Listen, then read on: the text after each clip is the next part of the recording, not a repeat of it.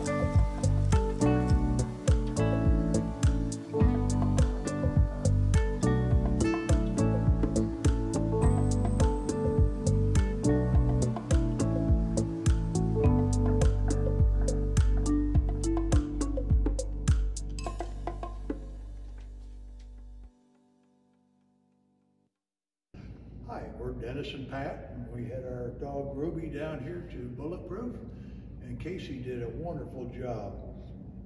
The dog was just about on her way out the door there for tripping Pat up before we brought her down, and it's made a world of difference with the training that we've seen already, and looking forward to getting her back home.